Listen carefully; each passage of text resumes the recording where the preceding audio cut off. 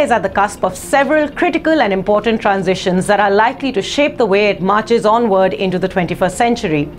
On the one hand, as a growing economy, India has to meet energy demands of a large percentage of its population. But at the same time, India has to make sure that it does so while staying green. India is rapidly urbanizing. It has to do so in a sustainable and effective way. But it also, as it deals with transitions of urbanization, deal with declining agricultural productivity and an ongoing rural to urban transition. India has very weak human capital, yet it has to provide productive jobs to large percentages of its population. The world is going through a massive transition as we speak. India, as a rising regional and global power, has to understand the dynamics of this growing structural transformation and at the same time figure out its own position and its own stature within this transition. Decisions and actions that India takes today across this wide range of issues is likely to shape the trajectory of India as it marches into the 21st century.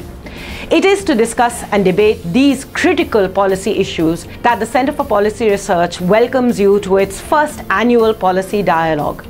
The purpose of this dialogue is to bring together a wide range of stakeholders, academics, policy practitioners, civil society organizations, both from within India as well as across the globe, to debate some of these issues with a view to bringing into play a nuance and a more rigorous, structured discussion to some of these critical policy issues that India faces.